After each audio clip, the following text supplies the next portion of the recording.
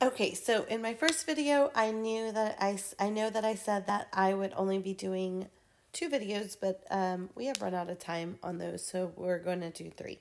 Um, I talked a lot at the beginning of them, so um, forgive me. Let's just move on.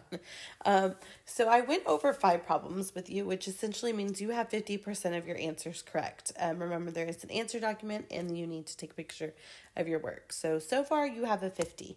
You have five more problems to complete. Um, and so on these problems, um, I'm just going to be doing the setup, and you're going to find the, the final answer on your own. Um, but I am going to guide you somewhat through it since it is so new. Um, so just make sure you're paying attention, make sure you're doing the work, and then you will turn in in at the end of this. So let me skip over to where we left off. Number six. Okay, so we're going to draw a line to um, separate this into two figures here. So here we have, oops, that is not what we want. Um, so here we have a figure one and figure two, which is a rectangle and a trapezoid. Um, at this point, if you think you have it down, um, I would press pause on the video, solve numbers 6 through 10, and come back to the video and see if you set them up correctly. Okay, so figure 1 is a, well, if this is the same as this, that means we have a square on our hands. So figure 1 is a square, which A equals S squared. So this is your side length. A equals S squared. And A equals 16 squared. And then figure 2, um, we have this slant, um, and the other one doesn't slant like that, then it is what we call a trapezoid. Okay, so remember I change the trapezoid to where it's dividing by 2. So area equals your height, parentheses base 1 plus base 2 divided by 2. Okay, um, so let's look at what we have here. We have our base 1, and your base 2 is right here, which if this is 16, that means that this is 16. Um, and then your height of your triangle is right here. Okay, so if the whole thing is 25 and part of it is 16, to get this right here, we would do 25 minus 16. We're going to borrow, again, because the whole thing is 15 and part of it is, I mean, 25 and part of it is 16. So this is 9. So that means our height is 9. Okay, so let's plug in real quick. A equals 9, parentheses. Your base 1 was 7, plus your base 2, which is 16, all divided by 2. So on this one, you're going to start with adding your bases first for order of operations.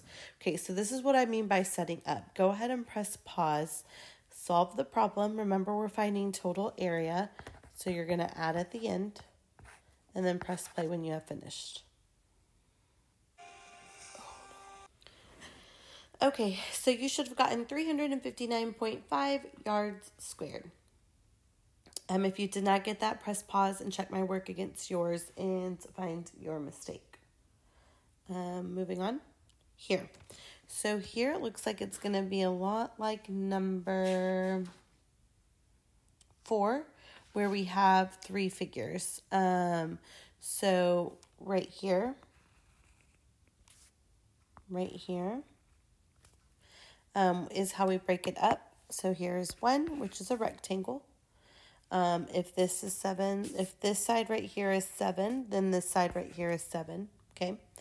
Um, and then here, 2, and figure 3, okay? So if this whole side is 7 and this part right here is 3, what do you think this purple part is? Whole side is 7, this part right here is 3. That makes this purple part, well, 7 minus 3 is 4. Okay, um, so this is a rectangle because your base here is 5 and your height is 4. So we have three um, three rectangles on your hand. So again, this is like number four. So go ahead and press pause and I want you to solve the whole thing on your own, okay?